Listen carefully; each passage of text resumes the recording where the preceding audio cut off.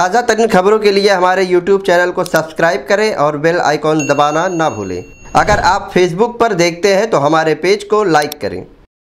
मैं हूँ इस्लामुद्दीन खान और आप देख रहे हैं प्रहार टाइम्स। पश्चिम बंगाल से दिल दहला देने वाली तस्वीर सामने आई है, जहाँ खराब मौसम होने के बावजूद मछुआरे समुद्र में नौका लेकर उतर गए और इस दौरान एक नौका डूबने का वीडियो भी सामने आया है। ये हादसा बंगाल की खाड़ी में हुआ है। काकाद्वीप महासागर में मछुआरे मछली पकड़ने गए थे। तैंतीस मछुआरे नौका में सवार थे, जिसमें छः मछुआरों को बचा लिया गया है। बताया जा रहा है कि चेतावनी के बाद भी मछुआरे समुद्र में गए थे और मौसम ख़राब होने की वजह से यह हादसा हुआ है।